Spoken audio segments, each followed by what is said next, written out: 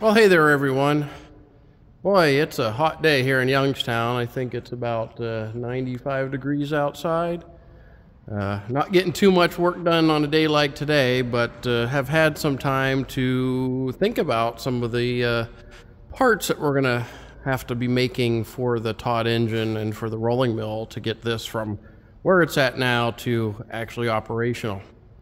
And uh, one of those parts is the mechanical packing that goes up here where the piston rod comes out of the head. And then uh, there's another one at the other end. They're identical. Since this one has a tail rod, both sides are the, the same. So what that looks like is this. So these are the, uh, uh, um, the actual packing, and those two segments go together, and then they fit in one of the grooves, and then there's three sets of them here. And uh, so what you have is, this is called a tangential ring, and when when they're in place, there's a little bit of a gap right here. They're not uptight. There's a spring on here holding these together, but normally there's a little bit of a gap, and then as these wear, they suck in until they get to that point, and, and at that point, they're, uh, they're pretty much worn out. And then you have these radial rings, and all the radial rings do is they sit up here in place. Well, let's do it this way. They sit up here in place next to it so that when there's that little gap in there, there is something right up against the rod behind it that prevents the, uh, the steam from passing through. And they do it in three segments. So steam coming in through here has to try to get around all of this to get um, to get around the packing, and then if it does, it's got another set of packing to get through, and if it does that, it's got a third set, and then hopefully by then the steam has given up and doesn't come shooting out the uh, uh, out the packing out into the atmosphere. Now, then you know each each set of packing then fits down into their little slot. These are one inch wide. This is a one inch slot there. Kind of fits in there fairly snug. Um, and then there's a top cap that goes on there and then that forms the uh, the mechanical packing for for the high pressure side. So all of this stuff is completely worn out and has to be replaced. Fortunately, there is a company that still makes this stuff. Um, so uh, I have just sent them an inquiry on this size, uh, which is a seven inch diameter. Uh, however, this uh, casting here, this set of castings, well, they're completely worn out and need to be remade. For one, let's see when I this over here, it's missing this piece entirely. It, it broke off and is gone. This piece had been welded back in place. And instead of these being straight, you know, perfect uh, uh, surface there, well, you can you can actually see the change in uh, you know what's worn here and not worn here. So this will never seal. Steam will just shoot through here like it's not even there. So not even worth putting new packing in if I have to use these old ones. Which brings me to the next thing. So I know some of our people out there watching our videos may have machine shops or the capacity to make parts.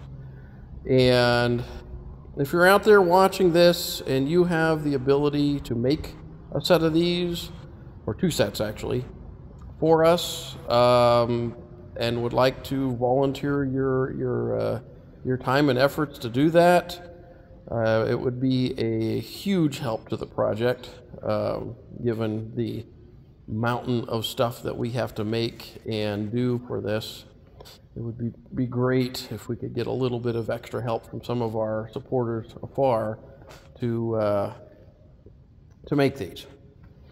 And it's basically five inches, so it'd be, these are out of iron, but we can make it out of steel.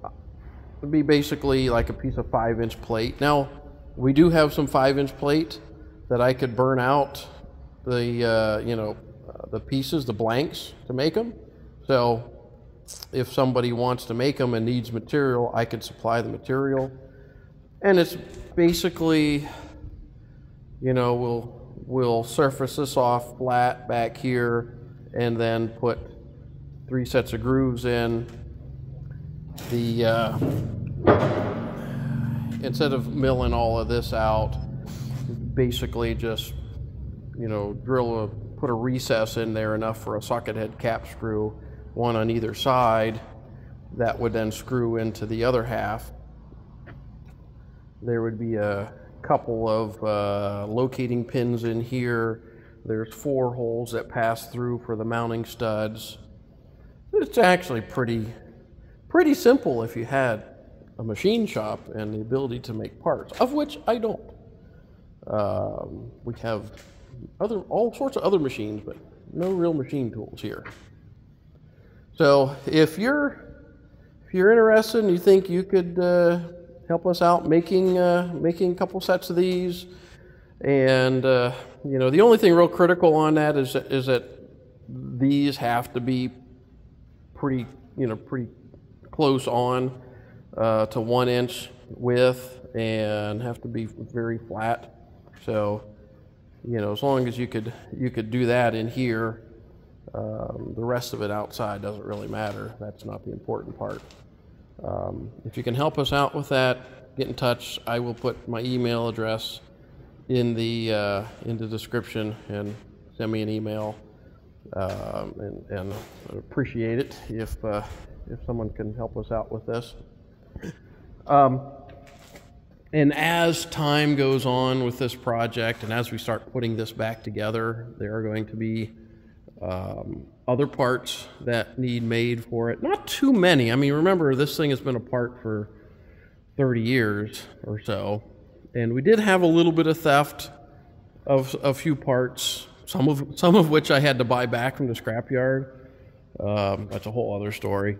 But uh, we've been pretty lucky into not losing anything that can't be replaced. Uh, so as we get further along into this, once we get the concrete in place and we start putting it together, we'll have some additional parts that need to be made. That uh, if we could, if we could get, you know, a few people with machine shops out there, each one of them, you know, sending us a part for this, it certainly helps us get this thing done and get the steam engine running and get the rolling mill running and um, actually, you know, making all this successful. So. All right, everybody. Thanks a lot for the help, and uh, I'll talk with you later.